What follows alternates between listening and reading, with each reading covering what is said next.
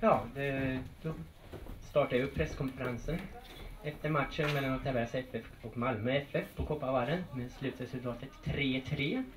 Jag börjar med att hälsa välkommen till eh, bortalagets tränare Roland Nilsson och eh, Malmö FFs lagkapten Daniel Andersson och eh, Åtvidabergs FFs målgörare idag eh, Oskar Möller förlåt.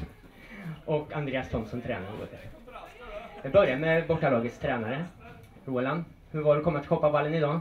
Hur kändes det? Ja, nej, det kändes väl ganska bra tycker jag. Eh, fantastiskt eh, mysig arena. Eh, bra konstgräs. Eh, men vi visste också att vi skulle få det tufft här. Att Åtvidaberg hade fått ett härligt självförtroende i de andra matcherna de hade spelat. Eh, och eh, hade fått jobba i lite lugn och ro under, under uppehållet. Det vet vi att eh, det brukar alltid vara taggade lag som, som eh, vi möter. Och det var det så också idag. Eh, så att eh, vi kände väl att, att i första halvlek så fick vi inte riktigt igång någon passningsspel direkt från början. Men eh, vi, vi jobbade på och gnuggade på. Eh, och eh, vi vet också att vi är väldigt eh, vassa i, i, i våra anfall. Och, eh, vi klarade av att både göra 1-0 och, och 2-0. Efter det så, så hittar vi rätt lite bättre i passningsspelet men samtidigt så, så börjar vi bli lite mer slaviga i, med kvalitet. Och sen eh, gör vi en idiotgrej så att det blir straff. Och eh, då blir det också ett lyft för Åtvidaberg som tar sig in. Vi har en, tre, en, en chans där innan så vi kunde gjort 3-0 men det blev inte så. Utan eh, Åtvidaberg gnuggade på och, och fick kontra mot oss. Eh, och gör 2-2. eh, Och det var det resultatet var i paus. Pratade lite grann i paus att vi var tvungna att ha bättre kvalitet i vårt passningsspel. Eh, vända spelet snabbare än vad vi, vi hade gjort i första halvlek. Eh, och eh, hade väl eh, lite tur precis i början. Och lite, lite tur. Vi hade mycket tur i, i början att vi inte hamnade i underläge direkt. Eh, men vi gnuggade på men eh, sen bjöd vi på, på 3-2 och sen eh, fick vi kämpa oss in för att eh, få, få en poäng med oss. Men eh, som sagt, som matchen ser ut så eh, i slutändan så är vi nöjda med en poäng. Tack så mycket. Andreas? Eh, tankar om matchen? Vad säger du? Eh, ja, hade vi eh, köpslått innan eh, och få en poäng mot Malmö eh, hade man ju tagit det. Sen blir man alltid bli besviken när man släpper in det till slutet. Men jag tycker åt på för jag jättebra första kvart i första halvlek eh, och i andra halvlek också. Första kvarten är strålande. Det är bland det bättre vi har gjort på ett bra tag. Men det blev lite när Malmö gör sina ett och två första mål. Vi, vi tappade boll så Malmö fick ställa om på oss, kändes det som eh, några gånger där. Och det ska inte, tycker jag, ske utan det är vi som ska ställa om på Malmö. Så vi bjöd lite på dem. Sen eh, bara få mål på slutet på första halvlek då. Och som sagt, andra halvlek började vi bra också. Sen, eh, sen går vi på knäna sista kvart 20. Det är kanske mer än det nästan. Med, med krampkänningar, hitta tre mittfältare och fyra på kramp. Det, det är bra. Det, men det, jag tror det sög mycket av i första halvlek att vi fick löpa. Det blev som, eh, inte Hawaii-spel, men mycket löpande.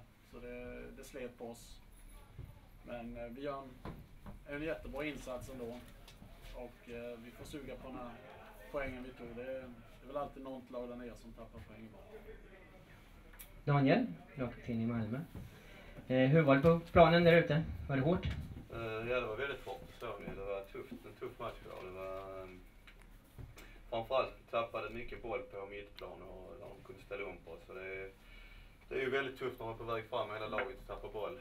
Och löpstarka killar i anfallet som, som ligger på rulle. Så det var en eh, jobbig dag för oss försvarare i Malmö idag. Så att, eh, väldigt eh, böljande spel fram och tillbaka där vi liksom inte kunde hålla ihop lagdelarna. Så att, eh, eh, det var ingen bra match tyckte jag från vår sida. Sen får man samtidigt berömma Åtvidaberg för deras spel som stundtals spelade väldigt fin fotboll och eh, med fina djupledslöp. Tack så mycket. Oskar, inte en match utan mål snart va? Hur känns det? Nej, det känns eh, otroligt bra att kunna behålla målsnittet. Eh, sen är det ju jäkligt bittert att vi släpper in ett mål i 88 tyvärr. Men eh, om man ser till helheten så, så är det ett rättvist resultat. Vad sa ni till varandra i halvtid? Nej, vi det bara, vi har ju ingenting att förlora. Vi är bara ut och köra. Vi snackar om några taktiska detaljer också. Och som sagt, jag tycker vi har det bra första kvart. Sen eh, blir vi trötta och, och de trycker på då för ett kvitteringsmål och, och lyckas få det. Tack så mycket. Ja, det var jag klar med mina frågor. Då släpper jag frågan fri. Ta en. Varsågod. Daniel, mycket snack inför den här matchen. Eh, Det pratades ju väldigt mycket, jag läste en intervju med dig eh, på Svenska fans eh, angående Helsingborg-matchen som ligger ganska nära. Och du var klar och tydligt liksom att fokus låg just på Åtvidaberg. Var ni överraskade av Åtvidabergs styrka idag eller? Nej, absolut inte. Vi visste att det skulle bli en jättesvår match. Eh, som jag har hört i analyserna innan så kan man väl säga att eh, eh 2-1 målet är väl rätt så avgörande för matchen. Att, eh, hade vi kunnat gå in med 2-0 i halvlek så hade det varit betydligt eh, stabilare. Men eh, de får energi på det här 2-1 målet och pumpar på liksom. Alltså, det är väl precis i det skedet ska vi vara betydligt starkare än vad vi är. Så, eh, eh när vi släpper in det målet. Men eh, jag kan försäkra om att allt fokus var på, på denna matchen. Då, hur ser du på avstängnings och skadesituationen som ni har att lösa nu fram till derbyt? Ja, det är något vi får, vi får lösa, det är inte mer med det. Utan, eh, det blir att vi får ett nytt lag på, på onsdag och eh, de spelare som, som kommer att starta på onsdag kommer att vara väldigt taggade. Fler frågor? Andreas, rent mentalt att släppa in i 3-3 i 87 eh, kan man glädja sig åt poängen eller är det stor besvikelse att inte få tre? Ja, det låter ju dumt att sitta och vara missnöjd eh, med en poäng mot Malmö. Men det blir alltid, så är ju känslan vilken match man än spelar. Tappar man ett i slutet så... Vi kämpade verkligen så väl och... eh, Det blir alltid lite tungt att släppa. Men det vi måste ju se det här som en framgång. Eh, Jobba vidare på det här. Det, vi har alla möjligheter.